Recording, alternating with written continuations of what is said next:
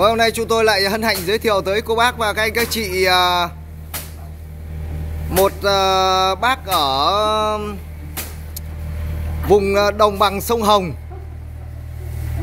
đã trở lại với thập kỷ 80 Bây giờ là thời 4.0 rồi thì người ta dùng bằng máy móc, nhưng bác ấy bảo là dùng máy móc thì nó hiện đại thì nó hại điện, tức là nó hại nhiên liệu của quốc gia, cho nên là bác ấy bây giờ bác ấy trở lại thời đồ đá đấy ạ. Đấy, thời đập lúa đây ạ. Đấy. Các bạn à, hãy vào xem để cho lời bình nhá. Vâng đây, trở lại thập niên 80 đây ạ. Thời bao cấp, chế độ bao cấp ngày xưa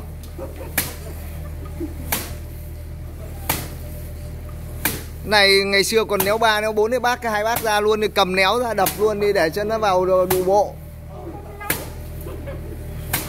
Này là lúa nếp à? à cái này đập lấy rơm à? Đập lấy rơm à, Này đáng ra bác phải khoét cái lỗ ra để cho nó kêu chứ đập này bèn bẹt lắm Không kêu Đấy, các bạn thấy không? Đấy, đập đi Đập đi, đập vào cho nó thành ờ, bộ. Đấy. Đấy, đấy kêu vết đấy, trở lại ờ, thời xưa đấy các bác ạ. Đấy. Đấy.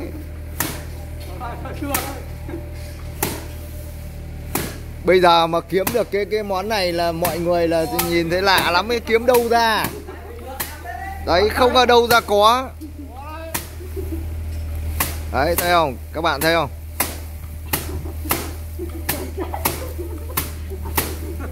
Các bác cái bảo là thời 4.0 bây giờ lại trở sang lỗi thời rồi.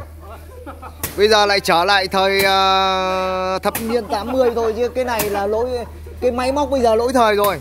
Bảo làm không lấy được dơm. Trở lại thập niên 80 này dơm dạ còn lấy được Đấy Bây giờ còn cần đi dơm đấy lúa ghét ra như này đấy chứ mà gặt như kia là văng vãi hết cho nên là bây giờ các bác cứ trở lại thập niên 80 các bạn ạ. Vâng. Đấy. Các bạn cố gắng cho lời bình nhá. Đấy, quá tuyệt vời luôn.